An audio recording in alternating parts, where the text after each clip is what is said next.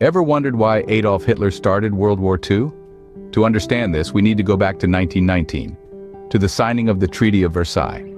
This peace treaty, signed in the aftermath of World War I, imposed severe penalties on Germany, one of the key aggressors in the conflict. The conditions were harsh, massive reparations that crippled the economy, loss of territory that stirred nationalistic sentiments, and disarmament that left the nation feeling vulnerable. The interwar period, from the end of World War I to the start of World War II, was a time of tremendous hardship for Germany. The nation was grappling with economic challenges and hyperinflation.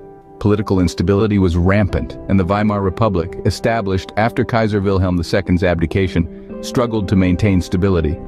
The German population, faced with these severe hardships, grew increasingly resentful. In this climate of discontent, extremist political groups began to emerge, capitalizing on the widespread resentment and promising a return to greatness. One such group was led by a charismatic and virulent orator, Adolf Hitler. These hardships and widespread resentment set the stage for the rise of extremist political groups, including the one led by Adolf Hitler. In the midst of Germany's turmoil, a charismatic and fiery orator emerged, Adolf Hitler. He joined the German Workers' Party in 1919, which later evolved into the notorious National Socialist German Workers' Party, or the Nazi Party. Hitler's ideologies, deeply rooted in extreme nationalism and anti-Semitism, resonated with many Germans who were seeking a scapegoat for their hardships. As his influence grew, so did his political ambitions. By 1933, through a series of political maneuvers, Hitler found himself in the position of Chancellor of Germany. But he didn't stop there. With the death of President Paul von Hindenburg in 1934, Hitler seized the opportunity to consolidate power, merging the positions of president and chancellor. This move marked the establishment of a totalitarian regime under Hitler's rule, suppressing dissent and instating a dictatorship. With control over Germany, Hitler set his sights on reversing the restrictions of the Treaty of Versailles. One of Hitler's top priorities was to rebuild Germany's military might, a clear violation of the Treaty of Versailles.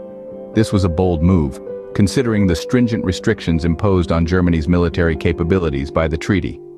Hitler perceived these restrictions as an affront to Germany's sovereignty and a barrier to his grand vision for a greater Germany. He embarked on an ambitious rearmament program, investing heavily in the manufacturing of sophisticated weapons, expanding the navy, and exponentially increasing the size of the German army. Simultaneously, he instituted mandatory military service, ensuring a steady supply of trained soldiers for his revitalized military. The international community watched with growing alarm as Germany rapidly transformed into a formidable military power. Attempts were made to curb Hitler's aggressive militarization through diplomatic channels. However, these efforts proved ineffective. The League of Nations, the precursor to the United Nations, was virtually powerless in the face of Hitler's blatant disregard for the treaty. With a revitalized military, Hitler was ready to pursue his expansionist ambitions. Hitler's vision of a greater Germany and Lebensraum for the Aryan race drove his aggressive foreign policy.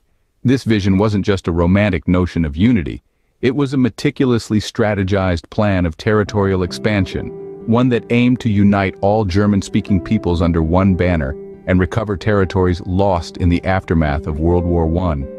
The first significant step on this path was the reoccupation of the Rhineland in 1936. The Rhineland was a demilitarized zone as per the Treaty of Versailles, and Hitler's move was a clear violation of this agreement. But this audacious maneuver was met with a surprising international response, or rather, the lack of it. The world watched, and the world let it pass. Emboldened by the lack of international retaliation, Hitler turned his sights to Austria.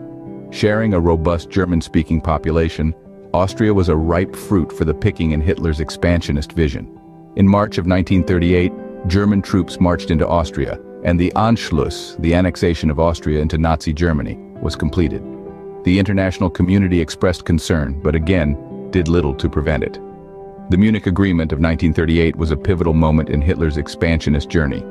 In a well-intentioned but ultimately doomed attempt to appease Hitler and avoid war, British Prime Minister Neville Chamberlain and French Prime Minister Edouard Daladier signed the agreement. This allowed Germany to annex the Sudetenland, a German-speaking region of Czechoslovakia. This capitulation to Hitler's demands was seen by many as a policy of appeasement. a policy that would come back to haunt the world. Hitler's aggressive expansionist policy, unchecked by the international community, ultimately led to the outbreak of World War II. So, why did Adolf Hitler start World War II?